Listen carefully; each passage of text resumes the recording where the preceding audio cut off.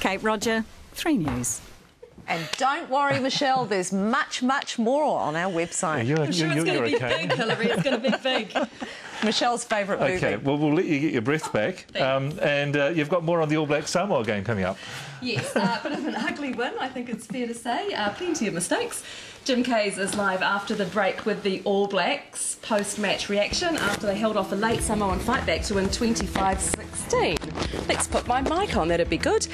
Also ahead, the latest on Robbie Farah's fitness, plus the build-up to tonight's State of Origin series decider in Brisbane. I Brisbane, told you she was flustered.